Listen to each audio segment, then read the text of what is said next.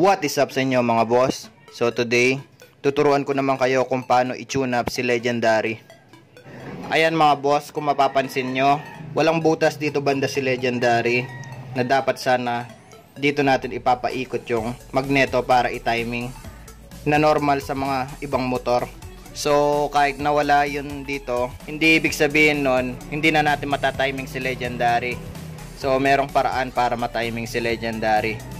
So yun yung papakita ko sa inyo mga boss o ituturo. So ayan mga boss, ang unang gagawin natin is alisin natin yung mga side fairings o pwedeng dito lang banda. Nasa sa inyo yan mga boss. So yung sa akin nakatanggal na para mabilis na lang tayo. Pero ilalagay ko yung link sa description kung paano tanggalin yung side fairings ni Legendary So ayan mga boss, kung mapapansin nyo, banda dito medyo masikip. So yung iba, tinatanggal muna yung air filter at carburetor para medyo lumuwang yung space banda dito. Pero ako, since na tune up lang naman, eh, hindi ko natatanggalin. Pero lagyan natin ng konting pasensya kapag hindi natin tinanggal yung carburetor kasi medyo matagal. So, ang next na tatanggalin natin is yung dalawang 8mm sa timing gear cover. Tapos, tatanggalin na natin yung magneto bolt na ang size is 17mm. Para simulan na natin i-timing si Legendary.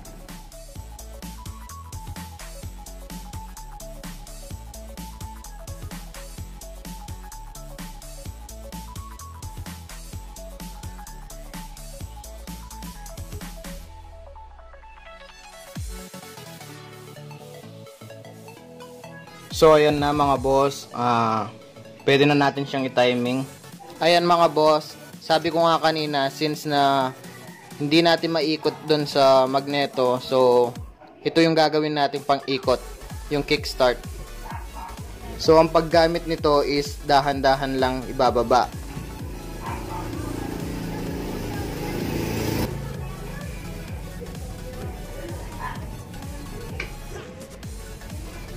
Dahan-dahan lang mga boss.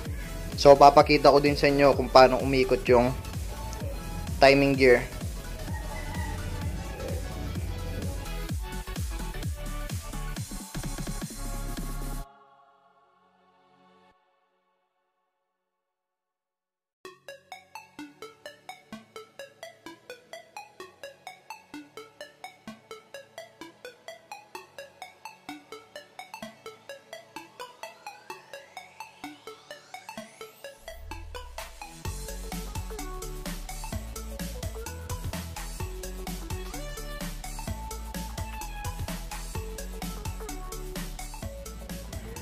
So ayan mga boss.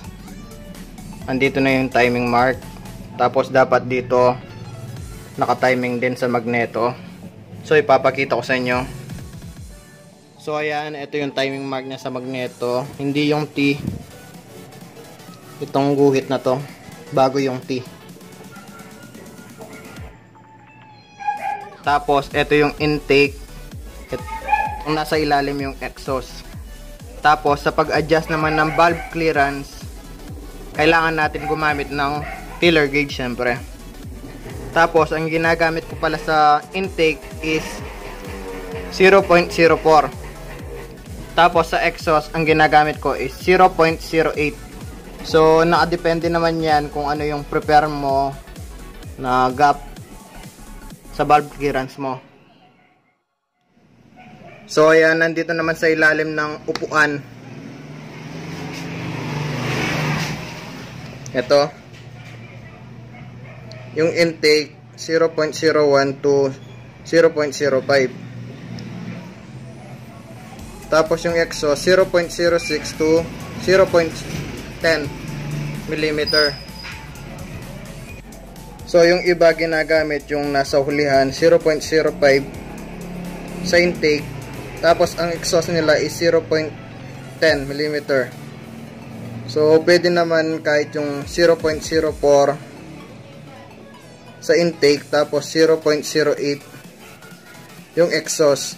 Uh, yun kasi yung prepare ko. So iba-iba tayo ng prepare kung, kung ano yung valve clearance na gusto natin.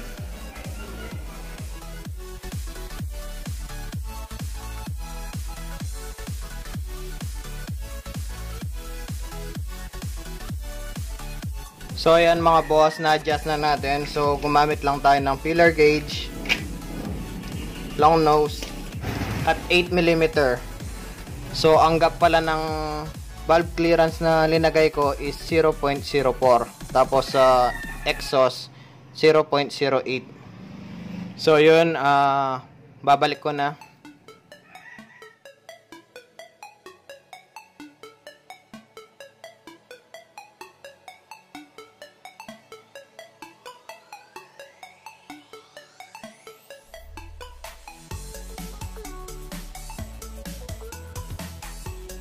So ayan mga boss, testingin muna natin.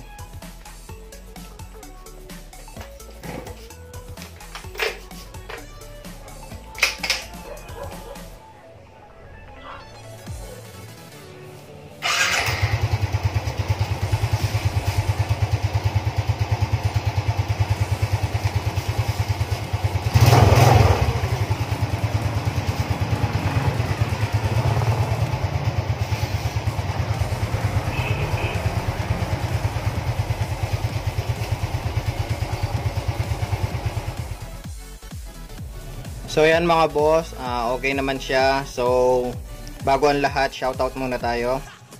Shoutout kay Alvin Yusores ng Arayat Pampanga. Shoutout kay Sutil Dumapit. Shoutout kay Pepeng Pepet. Shoutout kay Ban Lopez from BRC Club Kalbayog. Shoutout kay Joey Evangelista. Shoutout kay Aljan. Shoutout din kay John Lloyd Fernandez. Shoutout din kay John Eric Medel. Shoutout din kay Manny De Los Santos. Shoutout din kay Mac Abelera. Shoutout din pala kay Tropang Ballers. Shoutout kay Just Ball. At shoutout sa mga kabalen na sumusuporta sa channel na to. Shoutout sa inyo. So yun lang, shoutout sa inyo mga boss. Ride safe. So, dagdag ko lang mga boss, uh, hindi naman every time kailangan i-tune up o ipa-tune up ang motor. Lalo na si Legendary. Kasi kung hindi naman talaga siya maingay, ba't mo siya ipapa-tune up? So, ako, uh, basta umingay lang yung valve clearance, doon lang dapat i-tune up. Basta ang mabuti, ah, uh, nagme-maintenance kayo ng maayos gaya ng oil. Every 1,000 or 2,000 nagpapalit kayo.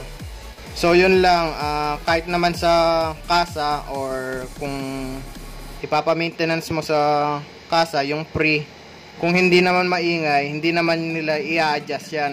I-check lang nila. So ganun lang naman uh, ang importante talaga dyan is yung oil. So, tapos sa mga nagre-request ng pagtono ng carb, so ginagawa ko na uh, abang-abang na lang kayo doon mga boss kasi uh, maraming nagre-request ng pagtono ng carburetor ni Legendary. So, yun.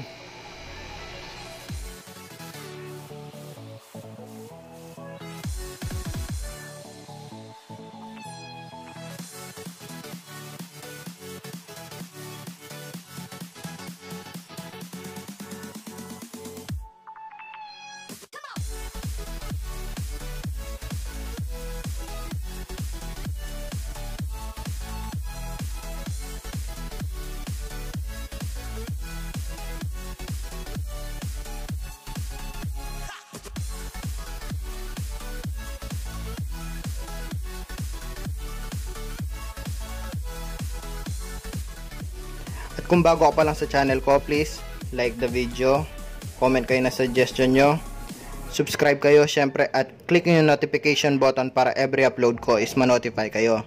Yun lang mga boss. Ride safe.